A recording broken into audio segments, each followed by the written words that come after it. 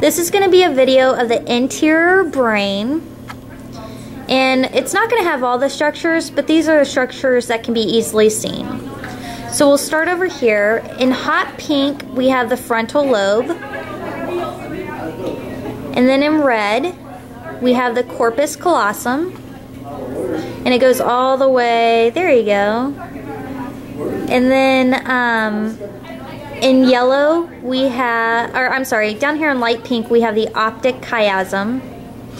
Uh, deep to that would be the pituitary gland. You can't get a good view of the pituitary gland on here. Um, and then in yellow, we have the hypothalamus. In blue, we have the thalamus. In pink, we have the midbrain. Dark green is the pons. Light green is the medulla oblongata. In yellow, we have the cerebellum. In light pink, we have the occipital lobe.